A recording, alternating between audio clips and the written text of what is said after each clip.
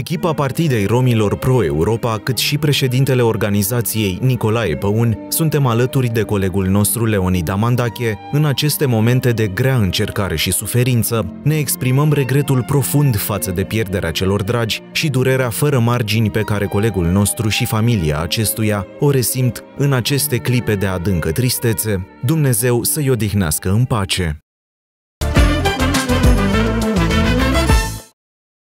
Bun găsit la o nouă ediție din Viața Romilor! Zilele de 31 mai și 1 iunie au o semnificație istorică profundă pentru că ne amintesc de începutul deportărilor spre Transnistria din 1942, atunci când 300 de mii de romi au fost trimiși la moarte. În acest sens, veți urmări un material special dedicat acestei zile. De asemenea, în această ediție vă prezentăm în premieră un material cutremurător despre unul dintre actorii genocidului nazist, doctorul Joseph Mengele, rămas în istoria lagărului de la Auschwitz pentru experimentele sale. Tot în această ediție vă prezentăm noutăți în domeniul educației. Monica Cornea și invitatul său Cătălin Manea, deputatul minorității rome, vor vorbi despre suplimentarea locurilor speciale pentru romi la licență, masterat și doctorat. Spre finalul ediției premiem performanța în întâmpinarea Zilei Internaționale a Copilului, Sorin Sandu și Andra Hartac vor fi gazdele unor copii talentați și ambițioși, preocupați să facă din pasiunea de azi un obiectiv pentru ziua de mâine din viața romilor începe acum. Rămâneți alături de noi!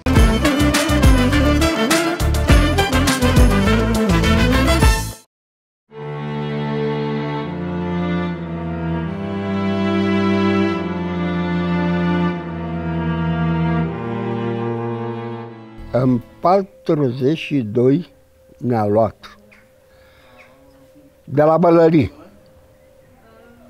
Ne-a pornit la București, am ajuns la Galați.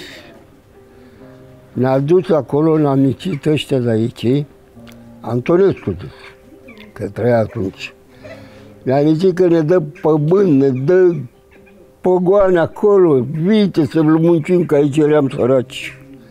Și ne-a dus acolo să ne pricopsim. Și acolo când ne-a dus, ne-a dus pentru moarte mai mult moarte. Ce ne-am dus de aici, câtă suflare ne-am dus de aici, acolo, în Rusiedis. Când am ajuns unde trebuia să ne ducă la locul destinat, ei nu ne-a dus pentru muncă și pentru să fim și noi la rând cu toată lumea. Ne-a dus pentru moarte. Finalul lunii mai are o semnificație istorică foarte profundă pentru că ne amintește de seara zilei de 31 mai și apoi 1 iunie 1942, atunci când populația de etnie romă de pe teritoriul țării noastre a fost dusă cu forța spre Transnistria. La ordinul mareșalului Ion Antonescu și cu susținerea guvernului României, romii de mai multe categorii sociale, fie ei nomazi sau care aveau deja un petec de pământ pe care îl munceau, au fost luați și urcați în vagoane de vite care aveau ca destinație Transnistria. Mulți dintre romi au fost ademeniți de promisiuni de șarte, că vor primi terenuri, motiv pentru care s-au urcat de bunăvoie în vagoanele de tren care i-au condus la moarte. Romii au murit în etape. O parte au murit pe drum din cauza sufocării, a lipsei de apă și hrană, alții au rezistat până la destinație și au decedat acolo. Restul au murit pe parcurs din cauza condițiilor extrem de grele la care au fost supuși. Viorela Kim, istoric specializat în istoria romilor din România, susține că deportarea romilor a ținut de politica etnică a guvernului, atunci a început o luptă fără precedent pentru omogenizarea etnică a țării. În perioada de dinaintea celui de-al doilea război mondial, în România nu a existat o politică specială față de romi, iar raporturile între populația majoritară și aceștia erau bune. Romii nu erau erau văzuți ca o problemă, dar situația romilor s-a schimbat odată ce Antonescu a intrat în grațiile lui Hitler. Amestecarea sângelui românesc cu cel țigănesc este cea mai disgenică influență care afectează rasa noastră. Ne-a băgat într-o vale, acolo zicea trei dube, în valea aia. Rodați, lătar, cursar, toate nățile, spăitori acolo în valea aia. Vale, vale și vedeai cu ochii așa, munti. Și aici era cum fel de canal. Ne-a băgat acolo, am stat o iarnă. Când am stat o iarnă acolo, cu ce să, ce să mănânc? Ce să facem? Cu ce să trăiești? Țiganii noștri, câmpuri cât vezi cu ochii, sate, sute și mii de kilometri până la un sat. Numai câmpuri era la balea aia acolo. Câmpuri așa, goale. Și oameni din comun punea și ei porumburi, cartofi, ceva la câmp. Aducea țiganii care era mai mare, mai aia, de meserie care știa să ia, lua de pe câmpuri și aducea acolo și mânca. De foame. De foame. Pe urmă, când s-a prins recoltă, nu era cu ce să mai mâncăm. Le dăm așa cu zile. Câți romi au plecat de aici când v-au luat în 42? Păi, am plecat cam mult, dar eu mai țin mii de... Din familia dumneavoastră câți au fost? Păi, câți ați din fost? familia noastră am fost și noi șapte, opt, cinci. Și din familia ce am venit? Am venit decât eu cu un frate. Cu doi frați. Și v-a luat toată familia, și pe, pe părinți, și pe, Pe copii? părinți, pe copii, pe toți a luat. Și de acolo, stai să vă spun, dârea, cum?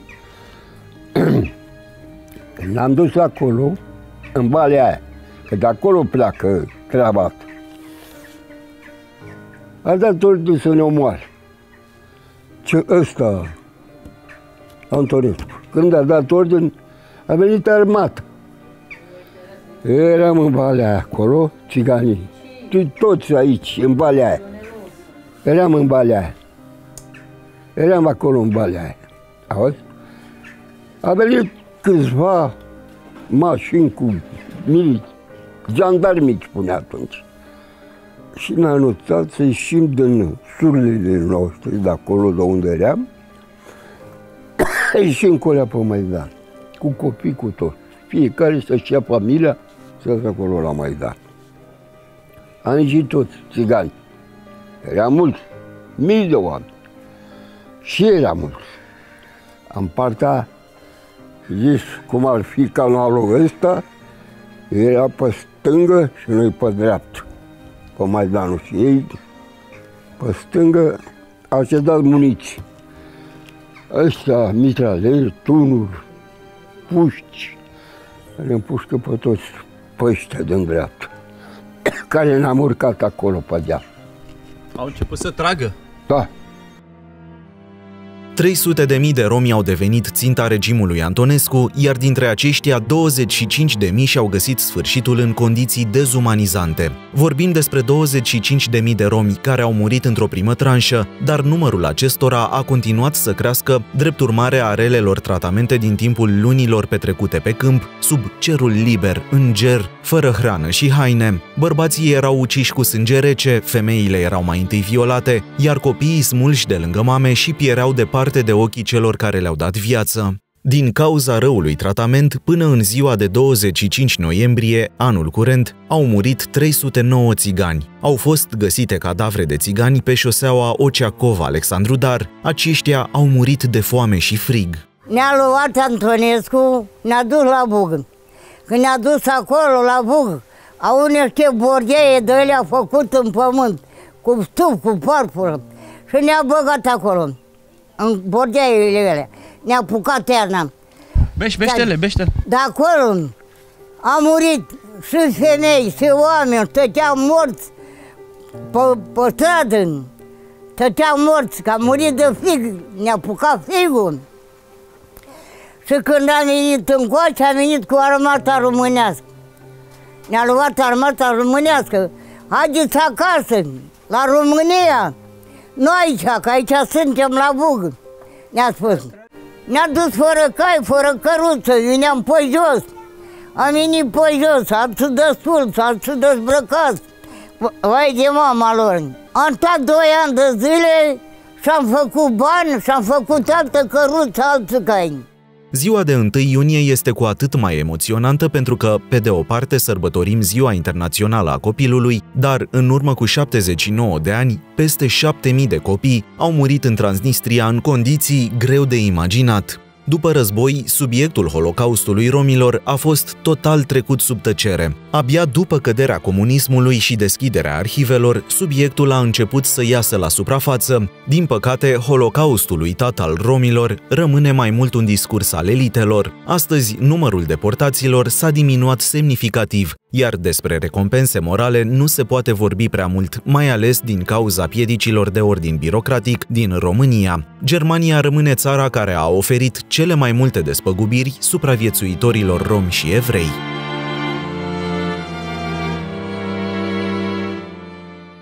În premieră națională, cu sprijinul Asociației Partida Romilor Pro-Europa, anul acesta, în localitatea Târgu Bujor din județul Galați, va fi amplasată o placă funerară în memoria romilor deportați în Transnistria. În prezent, în oraș mai trăiesc doar trei supraviețuitori ai dramaticelor evenimente ale deportaților. Peste jumătate din familiile de romi deportate din județul Galați nu s-au mai întors acasă, iar cei care au reușit să revină în țară au fost marcați pe viață de experiența deportării. Inițial Inițiativa de la Târgu Bujor dorește să amintească urmașilor romilor deportați și mai ales tinerei generații de această pagină dramatică din istoria romilor, prea puțin cunoscută de publicul larg. Este o inițiativă lăudabilă, o inițiativă susținută și de Partida Romilor, susținută și de mine personal, nu neapărat în calitate de reprezentant a unui birou județean pentru rom din Prefectura Galați, ci efectiv ca o persoană care cunoaște acest moment tragic din viața romilor, pentru că așa îl numim. E un moment din istoria tragică a romilor, în care, alături de deportații evrei și deportații romi, am avut persoane din familie care au plecat forțat în Transnistria și care nu s-au mai întors. Aș putea aminti pe bunicul meu din partea tatălui meu, în condițiile în care tata lupta pe front în războiul, da, uh, pentru România. Uh, a murit o soră de-a lui tata, Ileana, Dumnezeu să ierte, uh, și multe, multe alte rude, dar cele mai apropiate, bunicul și mătușa din partea tatălui meu. Uh, s-au întors, este adevărat că s-au întors de acolo alte două surori, s-a întors bunica, dar niciodată n-am uh, uitat acest moment despre care în vremea comunistă nici măcar nu aveam voie să vorbesc despre el. Se vorbea în șoaptă, se vorbea cu teamă, uh, se vorbea ca despre un moment pe care vroia fiecare dintre cel care a fost și a suferit acolo să-l uite. Iată că după atâția ani, da, putem spune, suntem cât 80 de ani aproape, da? Ă, ca o palidă reparație a tot ceea ce s-a întâmplat acolo, venim și în memoria celor care nu s-au mai întors, sau chiar și a celor care s-au întors și au fost marcați pe viață, se va pune o piatră, ă, o piatră funerară în memoria deportaților și este un lucru extraordinar, pentru că în acest fel, cred, că această părticică tragică din istoria noastră va fi adusă în permanență în memoria celor care vin din urmă, celor care nu-și cunosc istoria, dar și a majoritarilor, care nu cunosc chiar atât de multe din viața noastră, din istoria noastră, bună, mai puțin bună, poate că în acest fel vor avea o altă percepție vis-a-vis -vis de ceea ce înseamnă etnia romilor.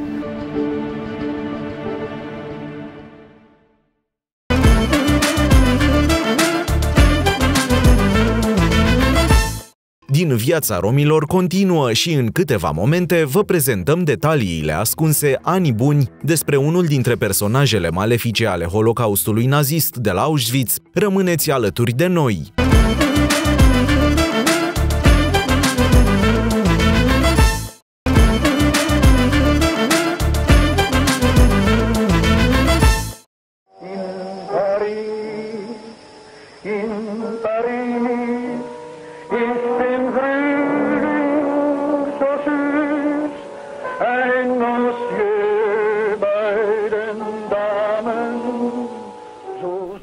Imaginăm că suntem în 1971. În San Paulo, Brazilia, e o seară cu cersenin, iar de la fereastra unei case se aude vocea caldă și pătrunzătoare a unui bărbat. Amintirile sale curg pe acordurile pianului care se află într-o locuință mică, dar cochetă. Are 60 de ani, a trăit intens, iar acum s-a retras într-o țară cu climă prietenoasă. Cărțile și plimbările îi bucură sufletul pe timp de zi, iar noaptea se înconjoară de muzica lui Johann Strauss. Fire boemă, cu mintea încă ageră, acest bărbat este o prezență mai mult decât încântătoare pentru toți cei care îl întâlnesc. Unii îl știu drept Helmut Gregor, alții ca Enrique Volman sau chiar ca pe doctorul Wolfgang Gerhard. Cei care însă îl cunosc cel mai bine îi spun scurt, Mengele, îngerul morții.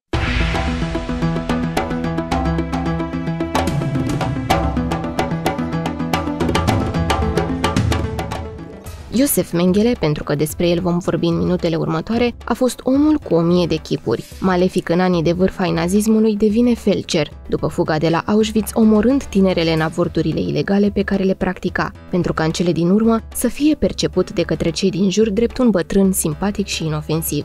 Iosef Mengele a făcut atât de mult rău în timpul anilor petrecuți în lagărul de la Auschwitz, încât nicio lege pământeană sau divină nu l-ar putea pedepsi de ajuns. Astăzi îi vom afla povestea.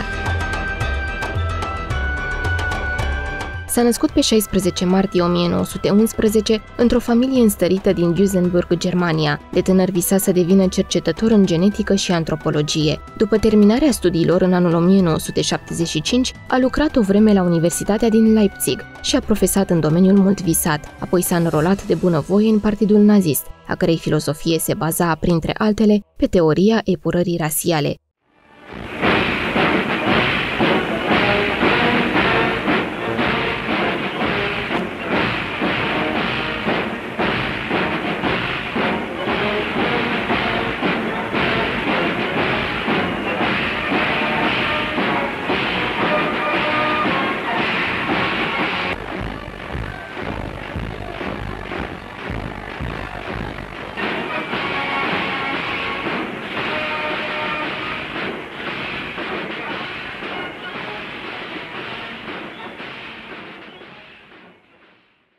În anul 1938, Universitatea din Frankfurt îi conferă titlul de doctor, iar din clipa aceea are undă verde pentru a profesa. Devine medicul soldaților SS până în 1943, când este rănit pe front în timp ce își exercita meseria. În acest context, este trimis în lagărul de concentrare Auschwitz-Birkenau, unde îi se acordă libertăți de exercitare a meseriei, dincolo de puterea de înțelegere a oricărui om cu viziuni morale și etice sănătoase. Ca medic șef al lagărelor de concentrare, Mengele a omorât, torturat și experimentat în 19 luni de zile, mai exact în perioada de vârf a genocidului nazist, după placul inimii, ca și când trupurile pe care le palpa erau carne de consum dintr-un abator. Terifiați, epuizați și bolnavi, milioanele de prizonieri de la Auschwitz-Birkenau, evrei, romi, sinti, homosexuali, dizidenți sau cu handicap fizic, au fost cobaii pe care s-au experimentat proceduri medicale, vaccinuri, tratamente și operații care aveau să revoluționeze lumea medicală. Pentru Mengele și echipa sa, acesta era absolutul în materie de cercetare. Nu mi mai pot aduce aminte de chipul său, îmi amintesc numai de cizmele lui lustruite. Când îi auzeam pașii, mă ascundeam sub prici, mă ghemuiam, închideam ochii, mă gândeam că nu mă va găsi. Medicii au măcelărit în scopuri nobile, progresiste și științifice, sau cel puțin asta se invoca atunci. Exista o emulație în acest sens, iar etica și compasiunea erau privite ca opreliști în fața progresului științific. Orice monstruozitate are o motivație în spate, iar aici vorbim despre teorii precum marianismul, eugenia sau antropologia rasială, care s-au răspândit vertiginos în mediul elitei germane. Sunt teorii care au luat o amploare neobișnuită odată cu venirea la putere a regimului nazist. Partidul nazist avea nevoie de un temei solid pentru a obține susținători. Prin urmare, crearea unor doctrine politice bazate pe diferențierea rasială a prins în rândurile populației. Evreii și alte popoare semitice erau prezentate ca inferioare, iar în vârful piramidei se afla rasa albă. Politica genocidară impusă de Hitler a fost repede adoptată de majoritari. La început, prin teama insuflată de soldații SS, apoi prin dezinformarea care venea pe canalele media ale acelor vremuri.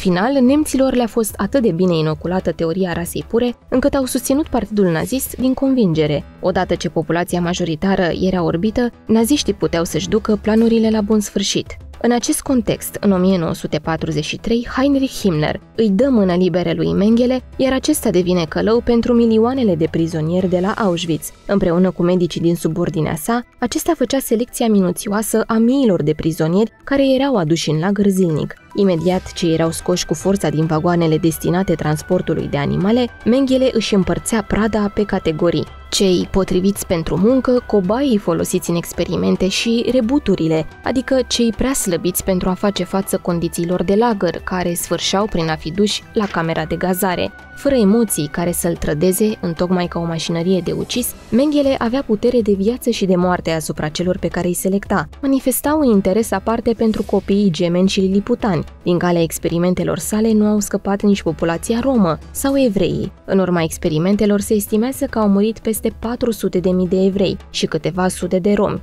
Bineînțeles, acestea sunt datele oficiale. Numărul celor uciși ca urmare a relelor tratamente medicale a fost cu mult mai mare, ținând cont de faptul că Mengele și echipa sa realizau rapoarte doar acolo unde considerau a fi relevante pentru progresul medical. Documentele oficiale găsite intacte conțin informații terifiante, pe care nu le putem relata în material din motive lezne de înțeles. Vă spunem doar atât. Subiecții erau studiați, jupuiți și disecați de vii până ce încetau din viață. Moartea devenea sfâșietoare și lentă. M-am aflat printre cei 11 copii selectați de doctorul Mengele și alți medici care voiau să știe efectele hepatitei B la oameni. Îmi amintesc că ne-au infectat cu hepatita B. Îi întrebam mereu de ce ne aflăm acolo, însă nu ne dădea nimeni un motiv sau ce urma să se întâmple cu noi. Mengele a verificat dacă se poate schimba culoarea ochilor prin injecții cu coloranți, a operat copiii fără anestezie, a infectat frați gemeni cu virus de tuberculoză și tifos exantematic, Mulți copii au murit în urma acestor proceduri, pe alții i-au ucis intenționat. Atenția deosebită pe care o manifesta pentru gemeni își avea explicația în faptul că își dorea să împlinească dorințele Führerului de a crește o națiune măreață ariană, unde gemenii să devină soldați cu puteri fizice excepționale. Gemenii, băieți și fete, puteau fi îmbunătățiți genetic pentru a servi idealurilor naziste. Un astfel de exemplu a fost Eva Mozescor, o evreică din Transilvania care a ajuns la Auschwitz împreună cu întreaga familie. În mai 1944, Eva Cor avea o soră geamănă pe nume Miriam. Odată coborâte din vagonul de tren destinat transportului de vaci, cele două surori au fost despărțite de familie și preluate de Mengele și echipa sa de investigație. Într-una din mărturiile sale, Eva Cor povestește pe larg despre traumele fizice și sufletești dobândite în urma coșmarului din lagărul de concentrare Auschwitz-Birkenau. A Nazi was running in the middle of that selection platform, yelling in German, twins, twins. He noticed us and demanded to know if we were twins. And my mother asked, Is that good? And the Nazi said, Yes. My mother said yes. At that moment, another Nazi came, pulled my mother to the right, we were pulled to the left. We were crying, she was crying. And all I ever remember is seeing my mother's arms stretched out in despair as she was pulled away. I never even said goodbye to her, but I did not understand that this would be the last time that we would see her. And all that took 30 minutes from the time we got down from the cattle car and my whole family was gone. Only Miriam and I were left holding hands and crying. I was used in two types of experiments. Monday, Wednesday, Friday, they would put me naked in a room with my twin sister and many other twins up to eight hours a day. They would measure every part of my body, compare it to my twin sister, and then compare it to chart. On alternate days, Tuesday, Thursday, Saturday, they would take us to a blood lab. They would tie both of my arms to restrict the blood flow take a lot of blood from my left arm and give me a minimum of five injections in the right arm.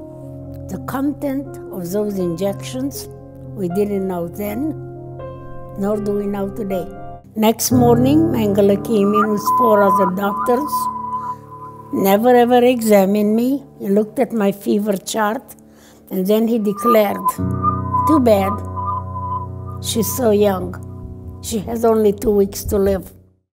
Eva Cor a fost cea mai rezistentă dintre surori. Miriam, sora sa geamănă, a dezvoltat o formă rară de cancer la rinichi. S-a chinuit aproape toată viața cu această boală. Gemenele Cor s-au numărat printre cei mai norocoși copii, pentru că au scăpat cu viață. În general, gemenii care intrau pe mâna lui Mengele mureau după câteva zile sau săptămâni de experimente. În cartea intitulată Günzburg în perioada nazistă, istoricul Zdenek Zovka povestește că Mengele nu era nici sadic și nici nazist fanatic. Autorul presupune că era mai degrabă un cinic fără margini, ceea ce i-a permis să nu-și mai perceapă victimele ca pe niște oameni și să-i trateze ca pe un material în esență deja mort, ca pe niște mici porcușori de Guinea. Mengele a colaborat cu Institutul Kaiser Wilhelm din Berlin pe toată perioada funcționării lagărului de exterminare nazist Auschwitz-Birkenau. Institutul a primit de la Mengele sute de globi oculari adunați de la victime, sute de mostre de sânge și oase diforme pentru a fi studiate de cercetătorii de aici. A făcut teste pe nou-născuți privându-i de laptele matern pentru a vedea cât poate rezista un bebeluș fără hrană. Mengele omora aproape tot ce atingea.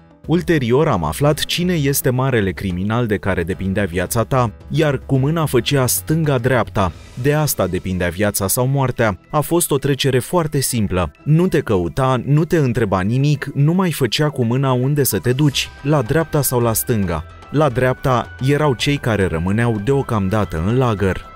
Iadul de la Auschwitz ia sfârșit odată cu intrarea trupelor sovietice în lagăr pe 27 ianuarie 1945, dar Mengele, care era unul dintre cei mai vănați naziști, reușise să fugă deja de o lună de zile. Umbrelă i-a fost tocmai Günzburg, orașul său natal. A rămas acolo până în 1949, iar timp de patru ani nimeni nu l-a căutat. Nici o autoritate nu s-a sesizat cu privire la fuga celui mai detemut medic nazist. Știrile despre Auschwitz au ajuns târziu în atenția publicului, iar atunci când veștile s-au răspândit, oroarea la nivel global era atât de mare, încât inițial s-a crezut că totul este o minciună. În tot acest timp, Mengele devenise fugar și încă unul foarte priceput.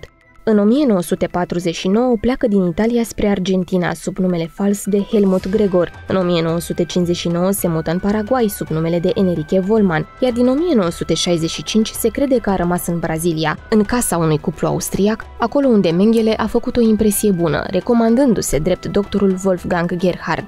Indiferent de țara pe care o alegea pentru a se ascunde de autorități, Mengele a profesat, cum altfel, decât ca medic. A practicat avorturi ilegale, iar zecile de tinere speriate care veneau să-i ceară ajutorul pentru a scăpa de sarcina nedorită, sfârșeau prin a muri pe masa de operație. Fie și departe de Auschwitz, Mengele făcea tot ceea ce știa cel mai bine, să ucidă. Pe 7 februarie 1979, Mengele moare în urma unui atac de cord în timp ce înnota, o moarte prea bună pentru un om atât de crud.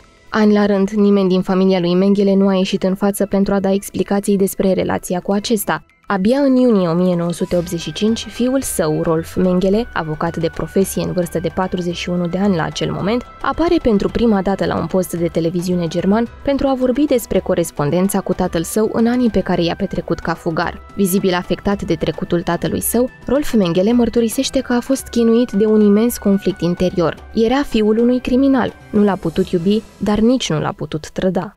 Do you believe that your father was responsible for this? I have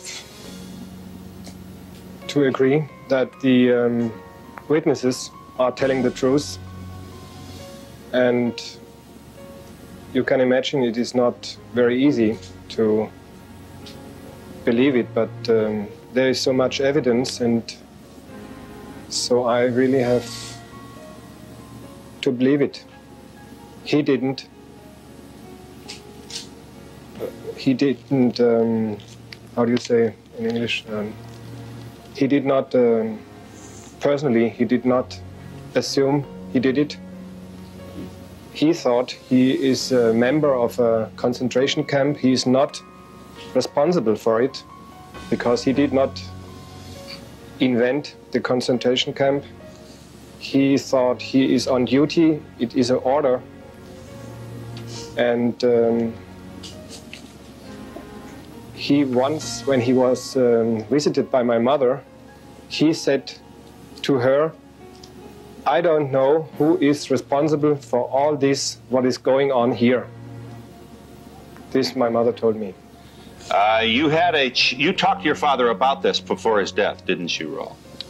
I tried to talk with him about these subjects when I visited him in 77 in Sao Paulo.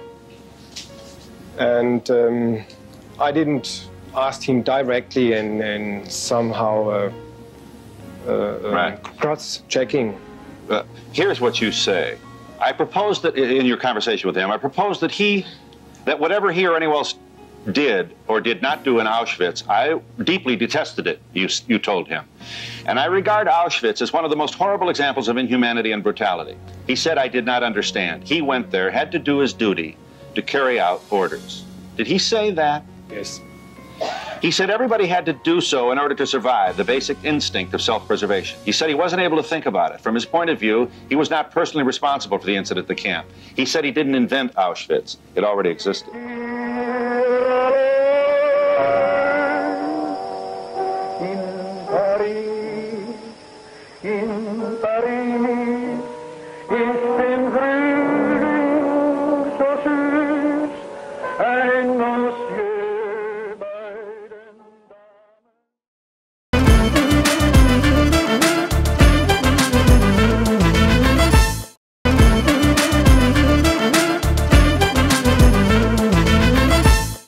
Bună dimineața și bun găsit, doamnelor și domnilor, la o nouă ediție a emisiunii din viața romilor. Așa cum v-am obișnuit deja, educația are un rol bine definit în cadrul emisiunii noastre, motiv pentru care ori de câte ori apar noutăți, le aducem în fața dumneavoastră.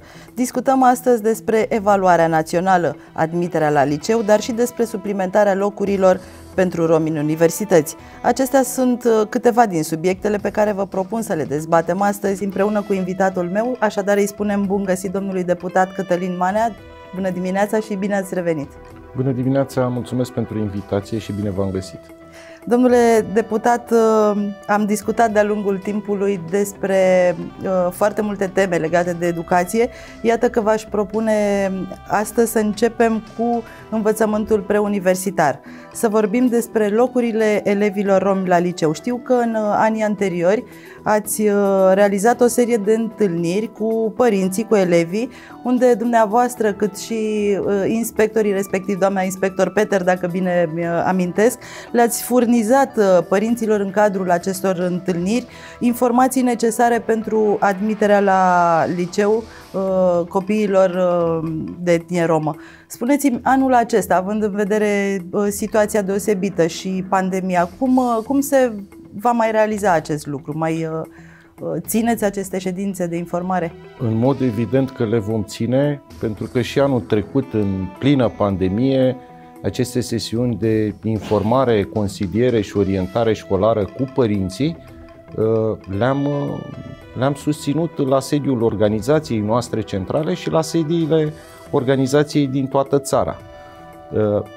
Potrivit calendarului admiterii, suntem în perioada în care, din păcate, nu mai pot fi eliberate recomandări de apartenență la etnia romă pentru elevii romi. Deci în acest moment, dacă cineva uh, dorește o recomandare, nu mai este posibil acest Din păcate nu. Știți foarte bine că noi am făcut demersuri încă de la sfârșitul anului trecut și chiar la începutul acestui an, în luna ianuarie, i-am solicitat Ministrului Educației să prelungească perioada până la care se puteau elibera aceste recomandări. Știți că inițial, potrivit calendarului admiterii de anul trecut, perioada era 29 ianuarie, adică data limită. Din 29 ianuarie, noi am făcut toate demersurile care au depins de organizația noastră, de Partida Romilor și am obținut o prelungire de 3 luni până în data de 29 aprilie. Suntem în luna mai, așadar toți cei care solicită recomandări pentru a merge la liceu sau după caz la școala profesională, din păcate nu mai pot intra în posesia lor. Deci acesta este un subiect încheiat. Acum, noi vorbim despre uh, perioada în care se vor desfășura examenele de evaluare națională, pe de o parte, iar pe de altă parte vorbim despre uh, sesiunile de informare și consiliere cu părinții și cu elevii, în cadrul cărora noi ne-am propus efectiv să le furnizăm cele mai bune informații despre rutele educaționale pe care copiii lor le-ar putea urma fie în liceu, fie în școala profesională și în același timp ne-am propus să uh, le furnizăm uh, uh, toți acei pași de care au nevoie, așa cum am făcut-o de altfel și anul trecut, în vederea completării în mod corect a fișelor de înscriere. Să reținem că repartizarea candidaților din etnia noastră se va face într-o sesiune computerizată, într-o sesiune distinctă față de repartizarea mare, mai exact în data de 20 iulie, perioada în care părinții uh, vor merge la unitățile școlare și vor uh, completa fișele de înscriere este cuprinsă între 16 și 19 iulie. Iată, mult mai târziu față de perioada de anul trecut. De ce? Pentru că și anul școlar se va încheia abia în data de 25 iunie. Uh, subliniez cele două perioade extrem de importante pe care părinții ar trebui să le rețină. Uh, sunt 16-19 iulie, perioadă, repet, în care trebuie să ajungă la școală și să completeze fișa de înscriere și fișa cu opțiuni pentru liceu și școală profesională și 20 iulie, data la care candidații de etnie romă vor fi repartizați la nivel național într-o sesiune uh, distinctă, într-o sesiune computerizată. Domnule Manea, n-aș vrea să uh, trecem atât de repede și să ne explicați un pic. Uh, știu că anul trecut, atunci când le, le-ați explicat părinților și elevilor cum se completează acele fișe, ați întâmpinat oarece uh, dificultăți pentru că oamenii n-ar, adică nu toți s-ar fi descurcat să completeze acele fișe și uh, mai mult decât benefică este o astfel de întâlnire. Ce ar trebui părinții să știe? Trebuie să vină Păi- să fie părin- îndrumați? Părinții care au solicitat recomandări uh, pentru copiii lor din partea organizației noastre vor fi contactați și vor fi chemați la aceste uh, sesiuni de informare, consiliere și orientare școlară. Uh, așa cum v-am spus și mai devreme, de departe unul dintre cele mai importante obiective ale noastre uh, pe care ni-l propunem în cadrul acestor sesiuni este să învățăm în mod corect pe părinți cum să completeze fișa de înscriere și codurile liceelor. Uh, Aici sunt o serie să nu de... existe probleme, să nu le completeze greșit, mă Ați gândesc. precizat foarte bine sensul și rolul acestor sesiuni organizate de Partida Romilor este acela de a le explica părinților oferta educațională. Uh, Sigur că la data la care vom organiza aceste sesiuni de informare și consiliere cu ei, părinții vor fi cunoscut mediile de admitere obținute de copiii lor în urma examenului de evaluare națională și atunci pe baza mediei uh, obținută de fiecare copil, sigur că din oferta educațională care știi este unde să foarte încadreze, bogată, da. părintele în cunoștință de cauză și cu, eu știu, și cu o atitudine obiectivă uh, vis-a-vis de parcursul educațional al uh, respectivului copil, va completa în cunoștință de cauză acea fișă care, repet, trebuie să ajungă la școală în perioada 16-19 iulie. Dacă vom face aceste lucruri, așa cum le-am făcut anul trecut, evident că vom avea rezultate și nu vom avea copii nemulțumiți sau părinți nemulțumiți sau părinți induși în eroare, uh, eu știu, de o procedură destul de greoaie, respectiv cea de, de de completarea completarea fișei. fișelor. Uh, Între 16 și 19 iulie, spuneați, uh, se completează fișele candidaților Da. romi. Pe 20 iulie urmează a fi repartizarea computerizată. computerizată. Într-o sesiune distinctă, pentru că, de ce spunem distinctă? Uh, Repartizarea candidaților rom se va face în data de 20 iulie, iar în data de 24 iulie, adică la distanță de 4 zile, se va desfășura repartizarea computerizată națională. Astfel încât, uh, în cazul în care un copil, să spunem, de etnie romă, nu a fost mulțumit uh, de locul uh, primit sau de liceul sau de uh, instituția de învățământ unde a fost repartizat, are posibilitatea să-și retragă dosarul și să participe la acea uh, repartizare computerizată la nivel național, care, repet, se, se va desfășura în data de 24 iulie. Iată niște informații utile pentru părinți, dar și pentru elevi. Și trecem, domnule Manea, la învățământul universitar. Iată că luna mai a venit cu o serie de vești bune în acest sens și cu sprijinul Ministerului Educației, dumneavoastră ați reușit suplimentarea locurilor la licență, masterat și doctorat.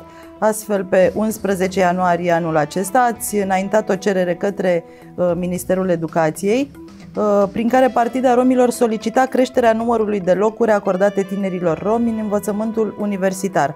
Concret, avem 721 de locuri distribuite astfel. La licență 432 cu 134 de locuri mai multe decât anul trecut, la master 197 de locuri, cu 136 mai multe decât anul trecut, iar la doctorat 97 de locuri cu 92 mai multe decât uh, anul trecut. Iată că uh, ați obținut un număr uh, mare de locuri, poate comparativ cu anul trecut este un salt uriaș, comparativ cu acum, acum 2 ani. Ani da. Uh, suntem pe aproape. Încă de la bun început trebuie să precizez că uh, atât eu, cât și președintele, cât și toți ceilalți colegi uh, ai mei din Partida Romilor nu am făcut nimic decât ceea ce trebuia să facem, adică ne-am făcut datoria. Anul trecut, din păcate, am avut foarte puține locuri alocate tinerilor romi în sistemul de învățământ universitar, iar anul acesta am încercat să îndreptăm această eroare. Sigur că fără deschiderea dovedită de altfel de conducerea Ministerului Educației n-am fi putut suplimenta numărul de locuri. Într-adevăr, sunt mai puține locuri față de anul 2019, atunci când am avut aproximativ 1000 de locuri, 998 de locuri dacă nu mă înșel, dar sunt cu 357 de locuri mai, mai multe mult. față de anul trecut. Deci ceea ce denotă o creștere. Acum, eu spun că suntem într-o etapă extrem de importantă, iar mesajul clar pentru tinerii noștri care au terminat liceul, mă refer la seriile din anii anteriori și care au deja diploma de bacalaureat, aceștia pot solicita recomandarea de apartenență, pot intra pe, pe site-ul fiecărei universități Uh, pentru că aici uh, trebuie spus că avem aproape la toate universitățile din țară locuri alocate distinct, să se intereseze de perioada admiterii. În ce dar... perioadă deci se eliberează recomandările? Nu, recomandările pentru... Uh, se eliberează pentru cei care uh, au diplomă de bacalaureat din seriile anterioare. Pot se veni? Po- pot veni pot solicita de la organizația noastră, fie de la sediu central, fie de la sediile noastre din toată țara, pot solicita această recomandare pentru cei care, pentru tinerii rom care sunt în clasa 12 în momentul de față, așteptăm examenul de bacalaureat, pentru că este o condiție, știți și dumneavoastră, admiterea la facultate să fără, cu diploma fără de diplomă de bac nu este posibilă. Mai întâi să susțină examenul de bacalaureat, iar după aceea uh, într-un timp foarte scurt, uh, pentru că multe dintre universități organizează la o distanță foarte Uh, scurtă de timp uh, față de examenul uh, de bacalaureat, admiterea. Și atunci, în acea perioadă de 10, 12, 15 zile, toți cei care au susținut examenul de bacalaureat anul acesta pot solicita recomandare. Acum, în ceea ce privește admiterea, diferă de la o universitate la alta, de la o facultate la alta, de la o specializare la alta. Într-o Uh, zonă admiterea se face pe bază de concurs de dosar, în altă parte de pildă la Facultatea de Administrație Publică se susține examen scris, uh, la alte universități cu profil tehnic trebuie să susții probe uh, specifice. Nu este o regulă sau un calendar unitar și pentru fix, toate da. universitățile din România. Repet, diferă de la universitate la alta iar uh, tinerii trebuie sigur să fie atenți, să, să-și dea interesul și să intre, așa cum am sugerat mai devreme, pe site-ul fiecărei universități să vadă concret care este perioada de înscriere și de admitere. Pentru noi, uh, cred că este important să transmitem acest mesaj uh, tuturor tinerilor din țară și prin intermediul emisiunii dumneavoastră, astfel încât informația să ajungă la un număr cât mai mare, iar aceste locuri Uh, pe care le-am obținut anul acesta, sper eu să fie ocupate atât în zona de licență cât și în zona de post universitar, mă refer la master și la doctorat, pentru că al minter nu vom avea un argument foarte solid pentru ca la anul să solicităm suplimentarea locurilor Acestor de, locuri. din acest an. Domnule Manea, vă propun să luăm un telefon și să discutăm acum cu domnul Gigel Paraschiv, secretar de stat în Ministerul Educației pentru învățământul universitar. Vă spun uh, bună ziua, domnule uh, Paraschiv. Bună ziua dumneavoastră, invitațiilor dumneavoastră și tuturor celor care urmăresc această emisiune. Uh, Mulțumesc pentru prezență. Alături de mine este și domnul deputat uh, Cătălin Manea, uh, deputatul minorității rome în Parlamentul României. Uh, Domnule Gigel Paraschiv, știu că dumneavoastră ați dat curs solicitărilor pentru suplimentarea locurilor acordate tinerilor romi în universități, iar anul acesta studenții romi vor avea cu 357 mai multe locuri decât anul trecut. Este un motiv uh, să vă mulțumim și noi.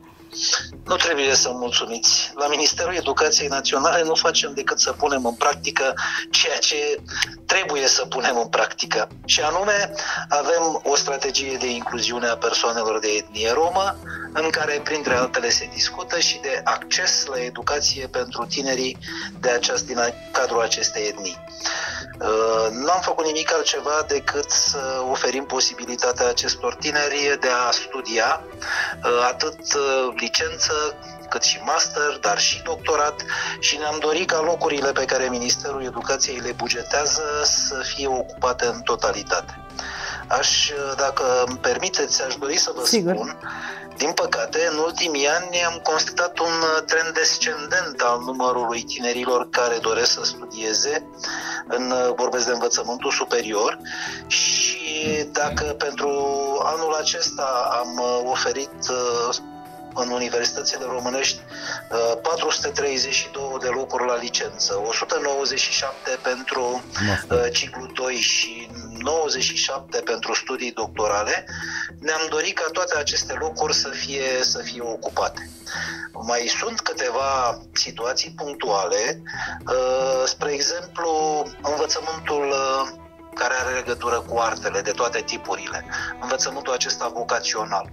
Au fost uh, situații în care universitățile nu au solicitat locuri pentru tinerii de etnie romă, dar au venit solicitări din partea tinerilor și atunci uh, nu am făcut uh, nimic altceva decât să mediem, dacă vreți, legătura între candidați, pentru că sunt candidați, dau examen și cei care merită sunt admiși și universitățile respective. Sunt convins că și anul acesta vom găsi soluții pentru aceste uh, cazuri punctuale. Sigur, uh, știu că zilele trecute domnul uh, deputat Manea, prezent în platou uh, alături de mine, v-a transmis o adresă prin care solicita suplimentarea după caz, acordarea unor locuri la câteva universități, cum ar fi, de exemplu, Universitatea Națională de Muzică, cea care inițial nu avea niciun loc alocat Da. tinerilor Da, romi. este, este perfect adevărat. Am uh, primit uh, această solicitare, am confirmat primirea. Uh, De aceea spuneam că vom uh, intra în dialog cu universitățile care nu au solicitat uh, Ministerului Educației alocarea de locuri pentru tinerii de etnie romă. Vom solicita să aloce uh, aceste locuri, locurile fiind uh, bugetate, fiind uh, repartizate de către minister și uh, neîncălcând în niciun fel legea, în sensul în care nu se depășește capacitatea de școlarizare pe programul de studii de către nicio universitate. Și eu aș vrea să vă salut, uh, domnule secretar de stat, și uh, să vă mulțumesc în numele organizației și pentru deschidere, pentru dialog și pentru punctualitate, aș spune eu. Uh, Eu cred că în următoarea perioadă relația uh, se va fi îmbunătățit considerabil între noi și Ministerul Educației, având în vedere că anul trecut am, uh, am și încheiat un uh, protocol. Uh, Facem pași, spun eu, destul de vizibil și pe zona de învățământ preuniversitar și ne străduim uh, cu toate resursele noastre să facem pași vizibili pe zona de învățământ universitar, pentru că vă spun că m, cel mai mare impediment, uh, cel puțin anul trecut, a fost uh, pandemia și informația, din păcate, n-a ajuns în timp util la toți potențialii beneficiari, adică la toți tinerii care ar fi putut să acceadă pe unul dintre aceste locuri în învățământul universitar. Dacă mai îmi îmi permiteți o Sigur. scurtă intervenție, o ultimă intervenție. Sigur, vă ascultăm. Deci, am spus în repetate rânduri că dacă ne dorim ca toți tinerii în această țară să aibă acces egal la educație, trebuie să dialogăm. Trebuie să discutăm, să vedem care sunt problemele, să căutăm împreună soluțiile, să promovăm aceste soluții și sunt convins că dacă există această deschidere, toată lumea va fi, să spun așa, măcar împăcată, mulțumită că a fost oferită o șansă. Repet, toate aceste locuri oferite pe, în zona de învățământ superior se ocupă în urma unor concursuri. Noi nu facem nimic altceva decât să acordăm șansa de a participa la concurs pentru toți tinerii din această țară. Corect. Este perfect adevărat și vă mulțumim, uh, domnule Paraschiv, pentru prezența la emisiune și vă dorim mult uh, succes în continuare și o colaborare Și vă bună. mulțumesc. Și eu vă mulțumesc. La To- revedere. toate cele bune, vă Vă mulțumim. salutăm. Așadar, uh, domnule Manea, iată că o susținere există și uh, din partea dumneavoastră bunăvoința de a face atâtea lucruri pentru tinerii de etnie romă. Repet, noi nu stăm cu mâinile în sân. Uh, Campania SOS Copiii Romi o desfășurăm de mai bine de 15 ani și iată, colaborarea cu inspectoratele școlare, cu Ministerul Educației s-a îmbunătățit considerabil, există dialog permanent, deschidere și ori de câte ori apar, apar probleme, noi încercăm să le rezolvăm punctual. Drept dovadă, vedeți și dumneavoastră deschiderea domnului secretar de stat pentru învățământul universitar. Ceea ce este important ca și o concluzie, pentru organizația noastră, dar mai ales pentru tinerii de etnie romă, este ca uh, ei să se intereseze de aceste locuri, să uh, solicite recomandarea în timp util, să, uh, să-și alcătuiască dosarul de înscriere și, evident, să participe la concursul de admitere uh, pentru a accede pe unul dintre locurile alocate lor, fie la licență, fie la master, fie la doctorat. Domnule Manea, vă mulțumesc pentru prezența la emisiune și vă mai aștept atunci când uh, mai aveți noutăți, așa cum ați făcut-o de fiecare dată. Mulțumesc frumos! Doamnelor, domnilor, rămâneți alături de noi. Emisiunea din viața romilor continuă. Sorin și Andra vor avea invitați speciali, copii care vor fi premiați de către Asociația Partida Romilor, copii talentați, așadar rămâneți alături de noi.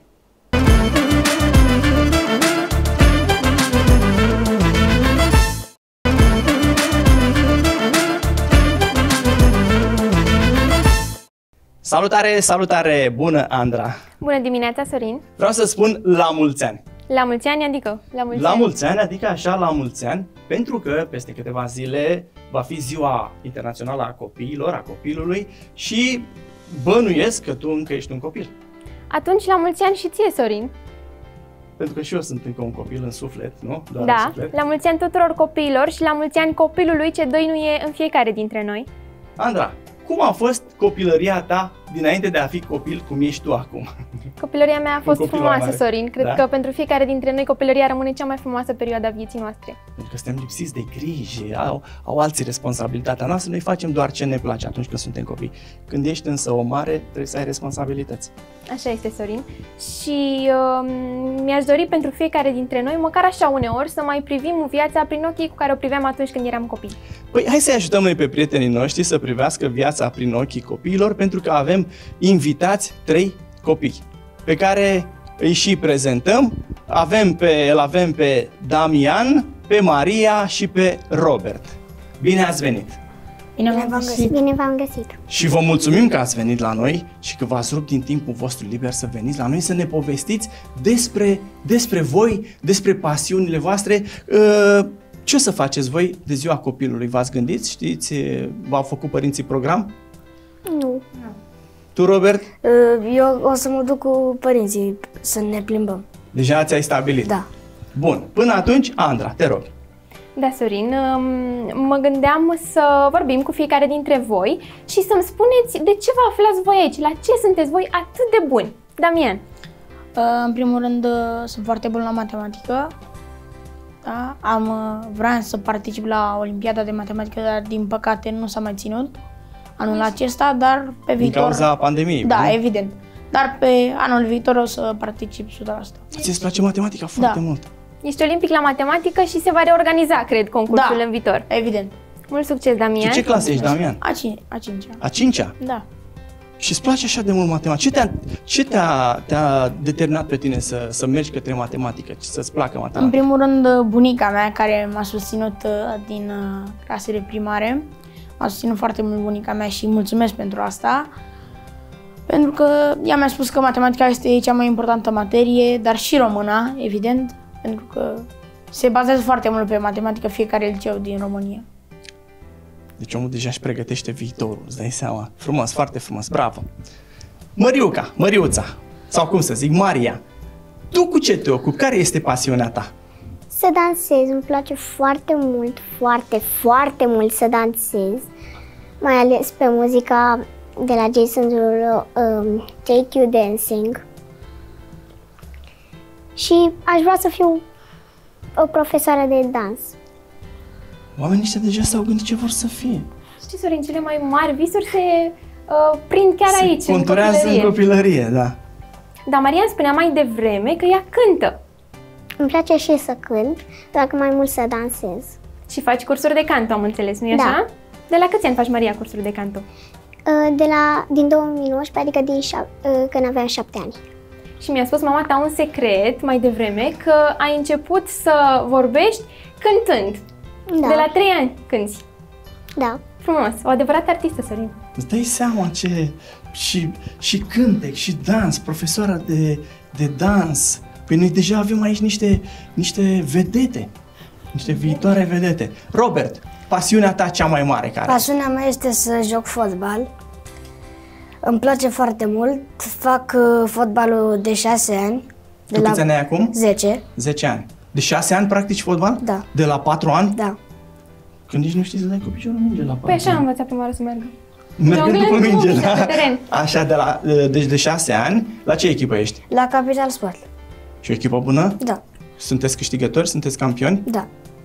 Aha, în ce ligă sau în ce categorie sunteți? În ce... Asta chiar nu știu. Nu știi, nu? Care este fotbalistul tău preferat, idolul tău în fotbal? Messi.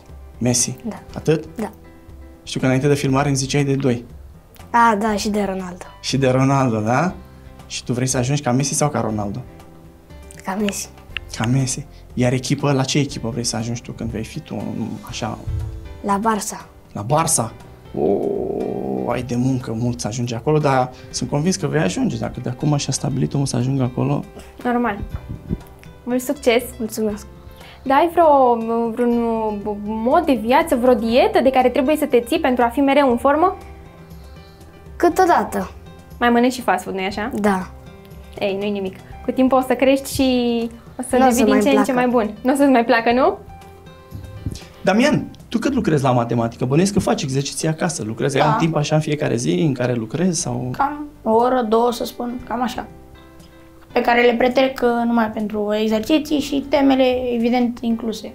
În alea două ore, o oră, Da, două sau... exact. Da? Și restul pentru învățat. Și faci meditații cu cineva sau lucrezi tu după cărți? Îți faci Lucrez. după profesoara sau profesorul? Lucrez tău? după cărți. După cărți, nu?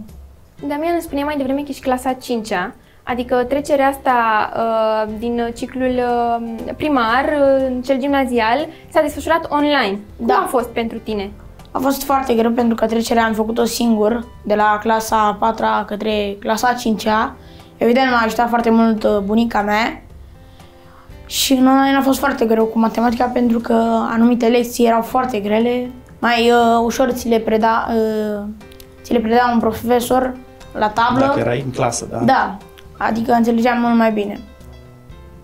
Acum v-ați reîntors la școală? Da, și sperăm că o să continuăm anul școlar, clasa a 5-a, cât o să mai fie din acest an școlar, fizic, să sperăm. E mai bine, nu? E mai Da, bine la nu școală. mai bine. Pentru tine, Maria, cum a fost în perioada asta în care ați făcut școală prin uh, intermediul calculatorului? Păi a fost foarte tare, mai ales colegii mei mâncau în ore. Mâncau în ore, da? Ce mâncau? Mai mâncau sandvișuri, cereale cu lapte, Lucru pe care nu poți să-l faci când ești la școală. da, Dar tu mâncai în ore? nu, Păi nu ți se făcea foame? nu, Uite, eu știu copii care se trezeau uh, dădeau drumul la laptop și se culcau la loc și laptopul mergea, vorbea că nu trebuia să-l vadă, să-l vadă învățătoarea sau profesoara sau profesorul. Cum vă petreceți voi timpul așa în general? Ce faceți voi într-o zi? Robert, tu ce faci? Cum îți petreci tu o zi din viața ta? Merg la școală, apoi îmi fac temele și dacă este luni, miercuri sau vineri, mă duc la antrenamente. Cât durează antrenamentul? O oră jumate. E obositor? E greu? Putem să zicem da. Putem să zicem da, nu? Da. Ești cel mai bun de acolo din echipă? Nu chiar. Da, vrei să fii cel mai bun? Da. Pentru tine, Maria, cum se desfășoară o zi din viața ta?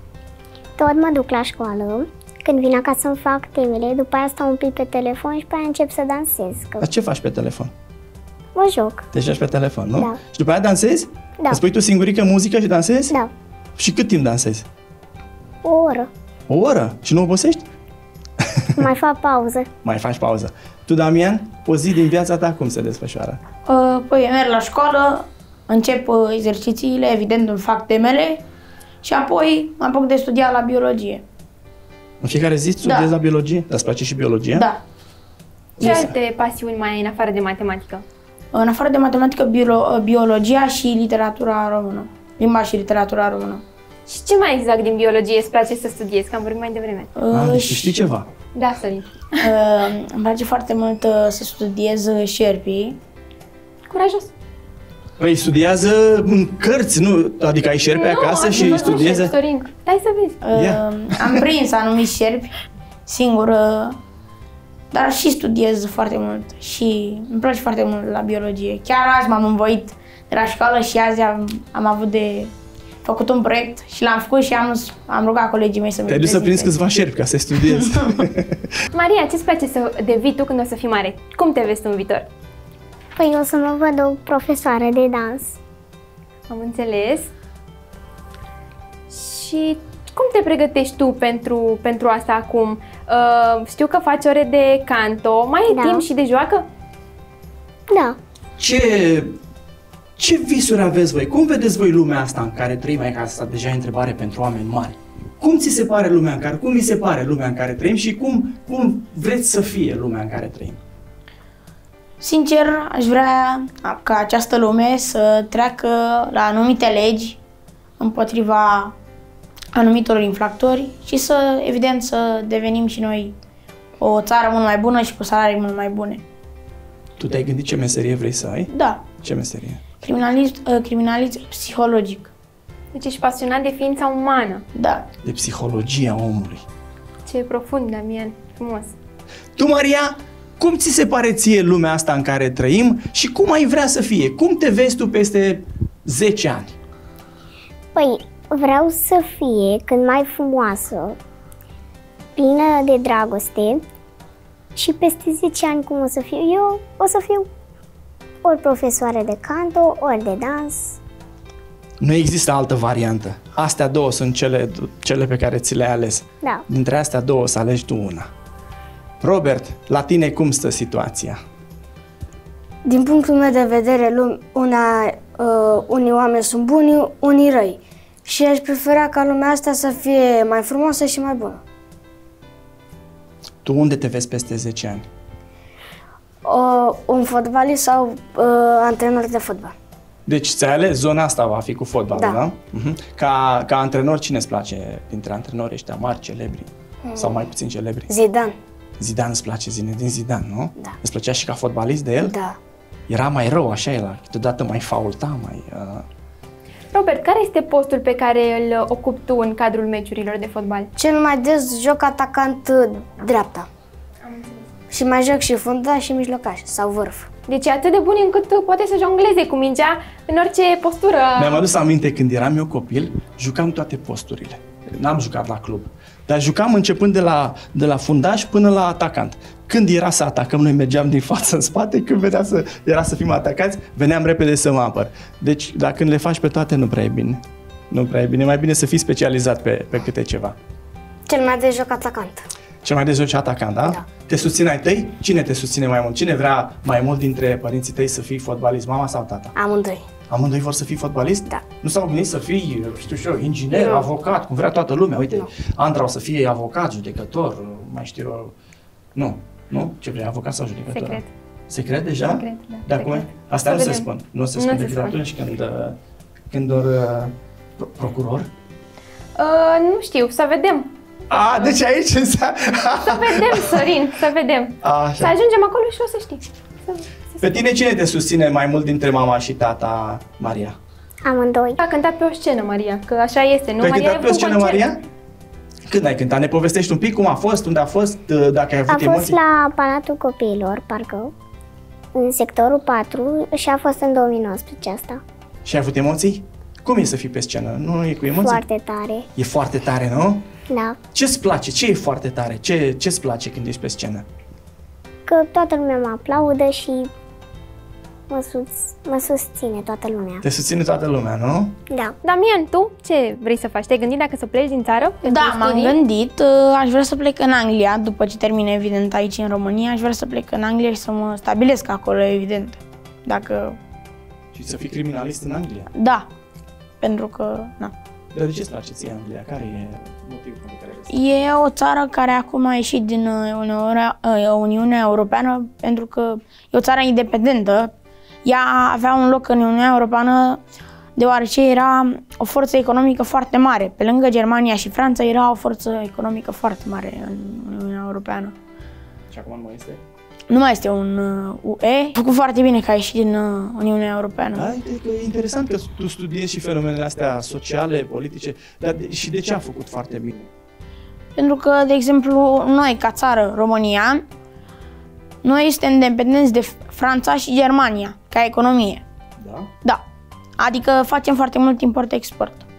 Înainte, pe timpul Ceaușescu, noi eram uh, uh, cel care alimenta Uniunea Europeană cu grâne, adică alimentam foarte mult cu cereale.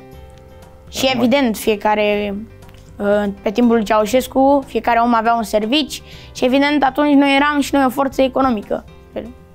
Așa, dar noi am pornit de la Anglia. De ce Marea Britanie? De ce zici că e bine că s-a retras din Uniunea Europeană și că uh, ai trecut la România, că România acum mai mult importă?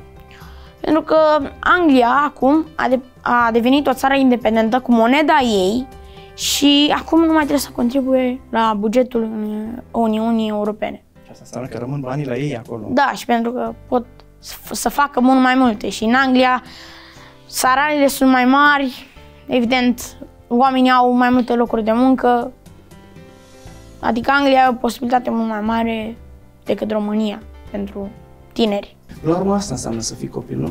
Nu să, să visezi, să fii curat la suflet. Nu Cred știu că ce de cele înseamnă mai copil, eu multe sunt ori om mare. uh, noi ne oprim în a mai visa și nu întrăznim. Eu cred că fiecare dintre noi avem acolo un vis în, uh, în străfundul inimii noastre. Da, îi dăm dreptate Andrei pentru că știe ce zice. Vă mulțumim copii și vă oferim câte un noi vă rucsăcel mulțumim. cu cadouri din partea Asociației Partida Romilor Pro Europa. Aveți acolo și dulciuri, aveți și cărți de citit, aveți și caiețele să vă ajute, să vă fie de folos, să, să vă bucurați de ce găsiți acolo, să vă bucurați de, de viața voastră frumoasă, pentru că nu poate fi altfel decât frumoasă viața copiilor.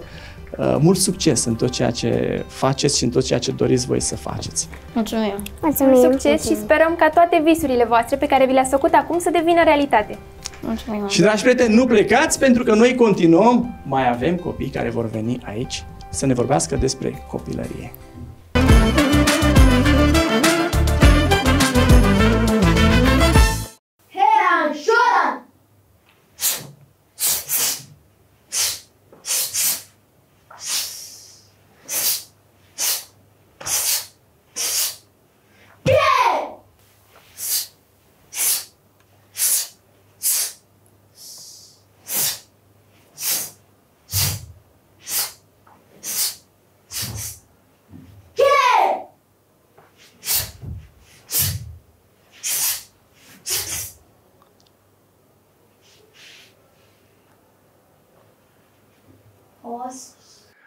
Os, că așa trebuie să se spună Andra, trebuie să zicem așa.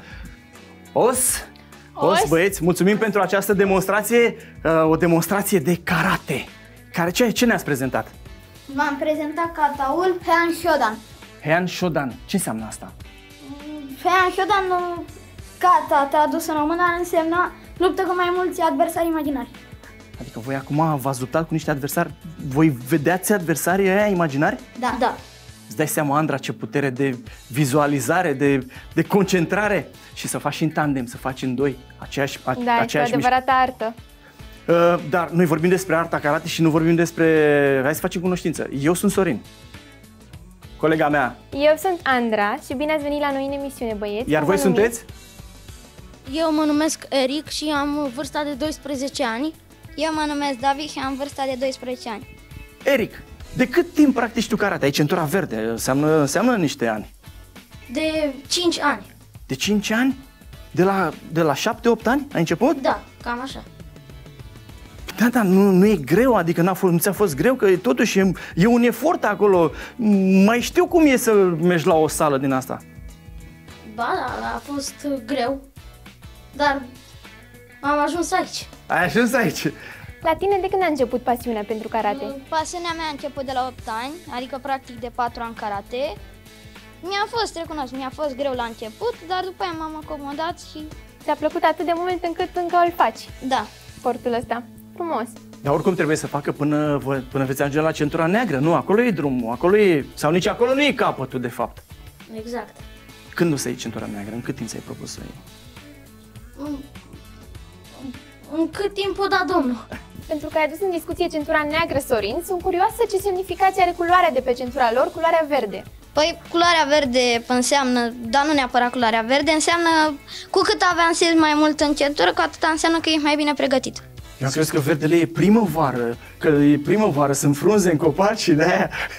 Sigur că glumesc, te rog, Ando. Câte centuri mai aveți până la cea neagră? Uh, mai avem trei centuri. O, Îți dai destul seama? de avansat, Sunt la un Sorin. pas de la trei pași de centura neagră, dar pentru că a zis mai devreme t- că o să aibă centura neagră când o da domnul, eu cred că era când o da Sensei, de fapt trebuia să spună și să-l prezentăm și pe Sensei Cătălin Dumitru. Os, Sensei. Os, bună ziua, îmi cer scuze că nu mă pot ridica. E, sportivii se mai accidentează. Uh, Sensei Cătălin Dumitru, maestru emerit al sportului, campion mondial, arbitru internațional, arbitru național, titluri peste titluri Sensei și îl prezint și pe Cristi Mihalache, campion mondial. Os. Bună ziua, bună ziua, Os. Os, așa se salută oamenii ăștia și îmi place să intru și eu în jocul ăsta. Uh, Sensei, ce mai faceți? Cum, mai e, cum e treaba? Cum merge Uh, Cătălin? A spune foarte bine, eu un pic mai, uh, mai puțin Dincolo bine, de dincolo de problemă. Ce- care e această, problema? acest S-a- s-a mic întâmplat un mic accident, accident, uh, da, din cauza uzurii pe care am uh, avut-o în timpul în care eram sportiv. Uh, Probabil că s-au adunat uh, mai multe și E, asta e, se întâmplă. Și se mai cum, întâmplă cum să- merge activitatea la CS Scorpion? O, Sunteți campioni, ați, am tot văzut pe Facebook postări. Ați reînceput acum, sau au reînceput competițiile, ați reînceput antrenamente. De fapt, antrenamente ați avut și înainte, nu? Așa este, am reușit să facem antrenamente chiar și în timpul pandemiei, atât online o scurtă perioadă cât și fizic. Uh, Dar uh, de acum putem să ne întâlnim și să facem uh, fără nicio restricție uh, antrenament uh, și să ne pregătim în continuare pentru concursurile ce vor urma. Și apropo de concursuri, urmează campionatul național uh, pe 27 iunie și între timp noi plecăm cu patru sportivi la campionatul turneul internațional de la Limassol. Este un karate One Youth League, se adresează sportivilor până în 18 ani și uh, să sperăm că vom obține rezultate foarte bune. Noi suntem pregătiți, ne pregătim în continuare și Că doar uh, sunteți scorpioni.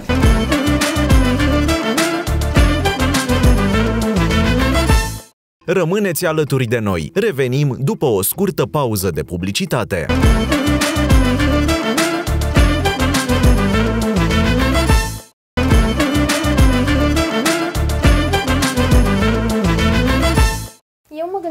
Cum rog. s-au desfășurat antrenamentele online, având în vedere că voi faceți uh, uh, muncă fizică, corpul. Uh, Într-adevăr, suntem puțin restricționați când vine vorba de online, dar uh, în uh, spațiul mic pe care îl are toată lumea acasă am reușit să facem exerciții uh, fizice mai mult decât uh, exerciții specifice, uh, combinații tehnice, așa cum uh, le avem noi în karate. Mai mult pregătire fizică, am avut noroc că perioada a fost destul de scurtă, în jur de o lună, care ne-am pregătit online, după aceea am revenit și am reușit să facem și antrenamente tehnice fără probleme. Cristi, campion mondial, ce face un campion mondial în această perioadă? Uh, un campion mondial în această perioadă, respectiv eu, uh, din păcate uh, și eu trec într-o mică accidentare. Wow. Uh, o, Ce ai pățit? o operație la umăr uh, și a trebuit să pun puțin uh, pauză la uh, to- toate antrenamentele pe care le desfășor eu de fiecare dată. Pentru refacere, sigur că Da. da. Uh, Dar, cu toate acestea, acum mă ocup de copii. De copii în cadrul, Antrenezi? clu- în cadrul clubului CS Scorpion, da, exact. Super. Și înființăm, am înființat uh, de acum uh, de aproximativ 4 luni de zile, am, am înființat uh, un, o nouă grupă, mai multe grupe de, de fapt de copii și asta, Se cu mai, asta mă poate, ocup eu. se mai poate veni la voi la club, așa, vin, uh, sau există numai anumite perioade când se pot face înscrieri, că poate mai sunt doritori care vor să vină să practice, să... uh, uh, Sunt limite de vârstă, până la urmă? Nu, uh, sunt limite de vârstă inf- inferioară, într-adevăr. Uh, Noi facem înscrieri pe tot parcursul anului, oricine poate să vină la, la noi la sală. Uh, Numai că uh, copilul care vine pentru prima dată trebuie să aibă o vârstă minimă de 5 ani și jumătate, 6 ani, pentru a ne putea înțelege cu respectivul copil și el pentru a înțelege limbajul specific, pentru că noi toate comenzile le avem în limba japoneză și ar trebui să Să învețe, sigur că la să comenzile, înțeleagă da. cumva comenzile. Da, asta da. vorbim de limita inferioară, dar limita superioară există. De exemplu, Andra ar putea să meargă la sală, să vină la voi la sală, să se Bineînțeles, înscrie. este Andra, foarte îți place potrivit. arta asta, karate? Aici ai, ai vrea să practici? Îmi place Sorin, sincer îmi place doar să o privesc. Să știi că uh, Cristi, cum zicea, a uh, deschis o nouă grupă și te încadrezi perfect în uh, O să mă gândesc ca viitoare la asta. sportivă. Dar ce Pentru că- calități are un sportiv? Păi uh, o să spună el ce calități are noul sportiv pentru că el se ocupă de uh, grupele de începători de la, de la noi împreună cu un alt sportiv de-al nostru, ungureanul Andrei și uh, o să auzim ce, răspunde ce Ioan caută Andrei. el la un sportiv uh, nou, un Uh, începător. În primul rând, la un sportiv, uh, la un sportiv nou, copil, vorbesc de copil acum, uh, mă interesează foarte mult să-l văd că este disciplinat. Dacă nu, Păi o nu învață dobândește- disciplina dacă acolo, nu o asta. dobândește, evident, la, la acest uh, sport, uh, disciplinat, ordonat, uh, să aibă niște calități fizice uh, și uh, calități motrice, așa, se, să le uh, sau să le dobândească, evident, pe parcursul uh, uh, Bine, tu acum vorbești de, de cei pe care îi pregătești pentru performanță, dar poate vine cineva ca mine, de exemplu, care nu e nici copil și nu vrea nici să facă performanță, Noi- ci vrea să facă așa. Noi la Clubul Sportiv Scorpion București noi pregătim majoritatea copilor pentru performanță. performanță. Am ne înțeles. dorim ca toți sportivii să ajungă campioni. Cum, cum de altfel sunt, majoritatea sunt campioni naționali, campioni naționali, medaliați la europene și mondiale. Să revenim un pic aici, în partea ta dreaptă, Andra. Voi sunteți campioni? Nu, nu prea am avut... uh, N-ai, n-ai participat la competiții sau ce? N-ai avut ocazia să participi sau nu? nu? Da. Nu prea am avut parte să participăm. Și când mergeți sau care e? De ce nu v-a luat sensei? Sau Păi- Rămâne între noi așa, nu ne, nu-i spunem sensei. De ce nu v-a dus? De ce nu v-a luat? Eu uh, nu mă lăsa mama să merg în cantonament și nu aveam voie să merg la unele competiții. Lăsați, doamnă, copilul să meargă în cantonament, să învețe, să performeze, să câștige medalii. Cred că te, o să te lase de acum înainte. De acum Zic și- înainte, cu siguranță îl va lăsa, pentru că a crescut și a dat seama că el este băiat mare. De fapt, era, uh, era pregătit uh, cu mai mult timp înainte să meargă în cantonament și la competiții. Numai că părinții, știți, sunt puțin mai uh, temători pentru temători, copii, sigur, trebuie sigur. să- Da, sigur. este de înțeles. Acum, cu siguranță, de anul acesta, el va intra în, circu- în circuitul nostru competițional fără nicio problemă. Și oricum Sensei are grijă de toți copiii, așa că e pe, sunt copiii pe mâini, pe mâini bune. Bine, uh, ce să vă mai întrebăm? Cu școala copii cum merge? Noi, noi am chemat pe copii și am vorbit mai mult cu Sensei și cu, și cu Cristi. Uh, campioni, bineînțeles, și voi ați fost copii și ați ajuns campioni. Iată că se poate ajunge campion după ce ești copil, uh, pentru că în câteva zile va fi ziua copilului. Ce o să faceți de ziua copilului? De 1 iunie. Păi, pe evident, o să mergem la antrenament. Adică voi Păi aveți e- antrenamente păi în fiecare zi? E zi liberă, oameni buni atunci! Și mai aveți timp de școală, de Da, și de jocuri? teme, și de da. Avem Adică sunteți băieți disciplinați, sensei v-a învățat să fiți disciplinați și la școală și în viața voastră de zi cu zi? Da. Da. Ce, ce materie îți place la școală cel mai mult? Sportul. Evident. La mine matematica. Wow, super. Așa îți calculezi mișcările prin matematică? Îți dai seama, bagă niște teoreme, încă nu e la capitolul teoreme. Bine copii, vă mulțumim pentru demonstrație, ne mai facem scur, o scurtă demonstrație acum, cu Sensei ne mai facem, mai fac copii o demonstrație? Sigur că da, sigur. Ce, ce ne vor prezenta? Vom face câteva combinații de Tihon și după aceea Ipon Kumite, Sanbon și Gohon Kumite. Abia așteptăm. Vreau și eu să spun că e bine să vă trimiteți copiii la arte marțiale și oamenii mari să meargă la arte marțiale. Eu m-am dus la arte marțiale sensei. Am văzut și mi-a plăcut foarte mult că Mă bucur te-am tare văzut mult. Dar ai acolo. luat o pasiune din copilărie și... Torin, cred că să- o să te urmez și eu. Cred că și eu voi începe cursurile de karate, de ce nu? Mai ales Serios? dacă mă încadrez în grupul lor. așteptăm cu mare drag. E foarte Așa bine. este. Eu am reluat o pasiune din adolescență și am zis de ce să nu merg într-un cadru organizat. Uh, Dacă el se ocupă de grupele de începători, eu uh, mă ocup de grupele de avansat și performanță, dar am și grupe de adulți. Așa că vă aștept cu cea mai mare plăcere la antrenamentele de la uh, clubul nostru. Cu mare drag, participați, antrenați-vă oameni buni, faceți sport, sportul este sănătate și mai facem acum o demonstrație, după care copiii vor primi cadouri pentru că așa e frumos, pentru cu ocazia zilei copilului să, să le dăm acestor minunați sportivi, acestor minunați luptători câte un cadou. Așteptăm însă prima dată demonstrația, da? Noi ne, dăm, ne retragem un pic în spate. Sensei, aveți cuvântul. Andra, vină mai lângă Mulțumesc. mine aici. Yame. Așa. Hidari zen kusuda shikamai. Jume.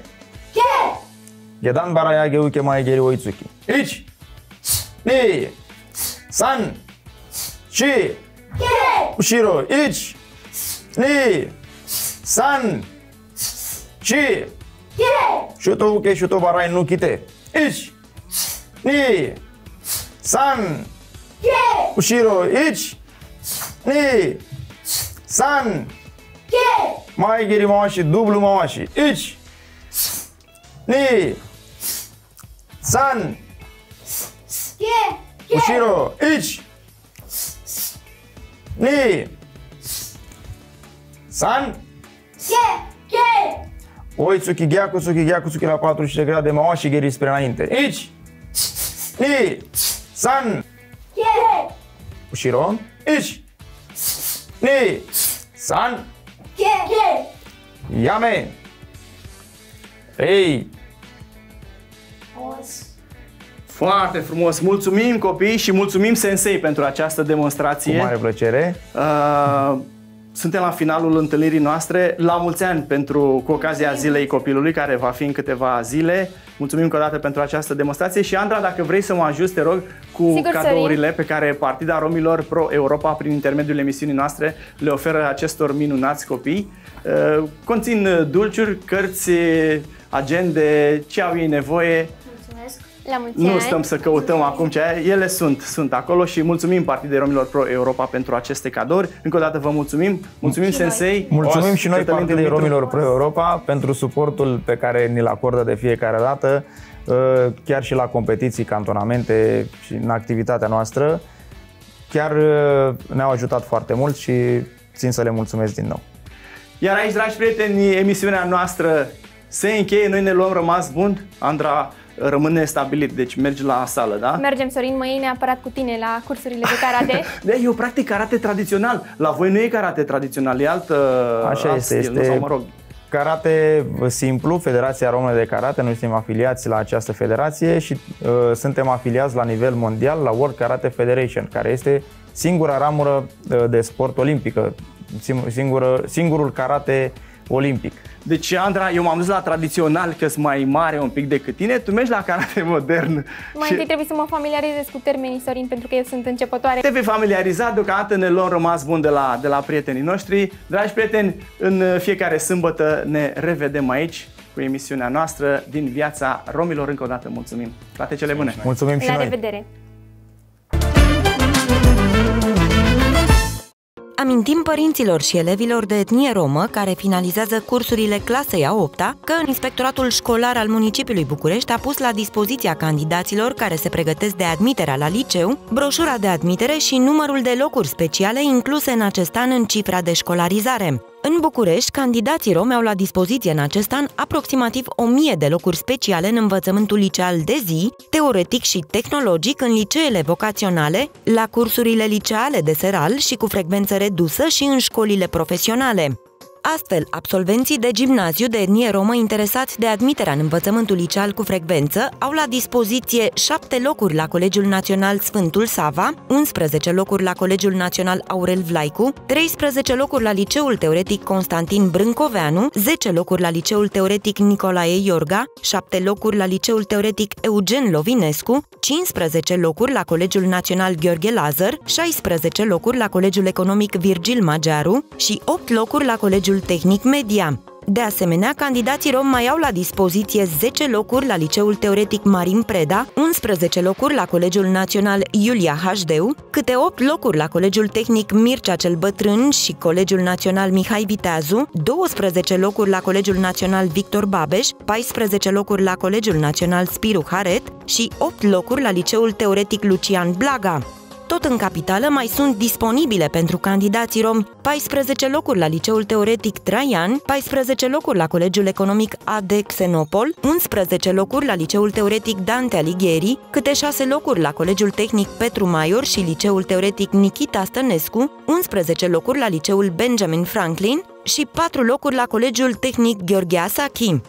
Între locurile disponibile mai amintim 11 locuri la Liceul Teoretic Decebal, 16 locuri la Colegiul Economic Hermes, 14 locuri oferite de Școala Superioară Comercială Nicolae Crețulescu, 16 locuri la Colegiul Tehnic Mihai Bravu, 12 locuri la Colegiul Național Mihai Eminescu, de asemenea mai sunt disponibile 13 locuri la Colegiul Național Gheorghe Șincai, câte 14 locuri la Colegiul Național Ion Creangă și Colegiul Tehnologic Mircea Vulcănescu, 12 locuri locuri la Colegiul Național Octavo Nicescu, 13 locuri la Liceul Tehnologic de Metrologie Traian Vuia, iar Colegiul Economic Viilor pune la dispoziția candidaților rom 28 de locuri. În cazul elevilor rom care optează pentru locuri speciale în instituțiile cu filieră vocațională și care vor susține probe de aptitudini, înscrierile se pot face între 7 și 14 iunie 2021. Susținerea probelor de specialitate se va desfășura între 15 și 18 iunie, rezultatele finale fiind comunicate tot pe 18 iunie. În capitală sunt puse la dispoziția candidaților rom 66 de locuri speciale în liceele și colegiile cu filieră vocațională.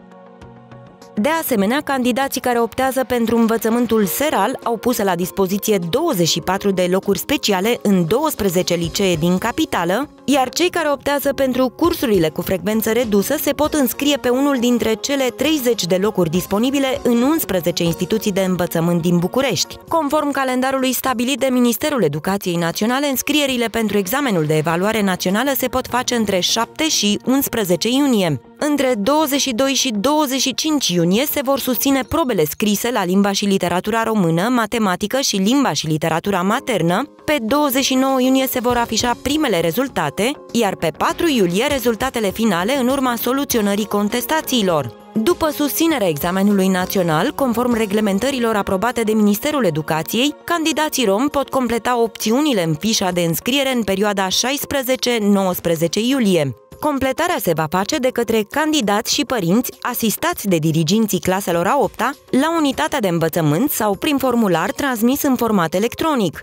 În acest sens, amintim că atât la sediul central al Asociației Partida Romilor, cât și în cadrul filialelor județene din întreaga țară, reprezentanții organizației vă stau la dispoziție cu informații și sfaturi legate de formularea opțiunilor și procedura de înscriere. Repartizarea candidaților pe locurile speciale pentru rom se va face într-o sesiune computerizată distinctă în data de 20 iulie. Amintim că și anul acesta, ca și anul trecut, candidații de etnie romă vor beneficia de o a doua etapă de admitere în luna august pentru repartizarea locurilor speciale rămase neocupate. Față de anul trecut, cifra de școlarizare din acest an a crescut astfel cu peste 350 de locuri speciale pentru romi în învățământul superior de stat. În capitală, cele mai multe locuri pentru cursurile de licență sunt puse la dispoziție de Universitatea București, Academia de Studii Economice din București și Școala Națională de Studii Politice și Administrative. În regiunea de nord-vest a țării, candidații rom pot opta pentru peste 70 de locuri speciale la cursurile de licență, cele mai multe fiind disponibile la Universitatea Babeș-Bolyai din Cluj-Napoca. În instituțiile de învățământ superior din zona de nord-vest a țării sunt disponibile pentru candidații rom 64 de locuri pentru cursurile de licență. În sudul țării sunt disponibile în acest an peste 100 de locuri speciale pentru candidații romi, cele mai multe fiind accesibile la universitățile din Craiova, Pitești și la Universitatea Constantin Brâncuș din Târgu Jiu, iar în centrul și vestul țării sunt disponibile 46 de locuri speciale pentru romi în învățământul superior de stat, cursuri de licență. Amintim candidaților rom care doresc să acceseze locurile special alocate pentru master că în universitățile din întreaga țară sunt disponibile 197 de locuri, cele mai multe fiind puse la dispoziție de Universitatea din București și Universitatea din Pitești. Iar pentru candidații romi interesați de cursurile de doctorat, sunt în acest an disponibile 97 de locuri, cele mai multe fiind disponibile la instituțiile de învățământ superior din București, Iași, Cluj-Napoca și Târgu Mureș.